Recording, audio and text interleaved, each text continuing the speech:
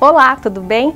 Você sabia que além dos quatro grupos sanguíneos mais conhecidos, A, B, AB, O, positivos e negativos, nós temos outros grupos sanguíneos que são muito importantes?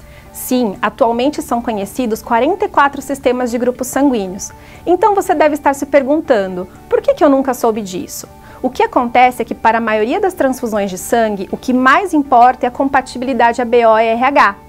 Mas para uma parte dos pacientes, principalmente aqueles que recebem muitas transfusões, esses outros grupos sanguíneos também são muito importantes.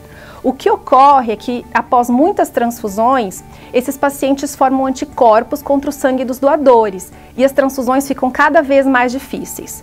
Assim, para conseguir sustentar transfusões compatíveis, nós precisamos selecionar um tipo de sangue cada vez mais parecido com o sangue do paciente.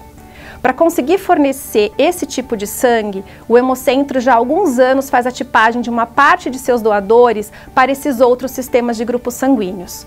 Hoje o Hemocentro conta com quase 50 mil doadores já testados e você pode ser um deles.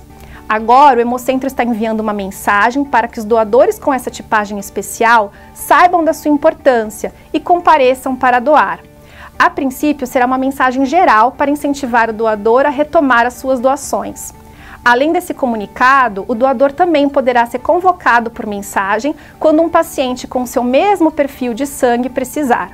É importante lembrar que alguns pacientes podem ter um tipo raro de sangue e quem sabe você será o único doador que poderá ajudá-lo. Então fique atento às mensagens e compareça para doar. Até mais!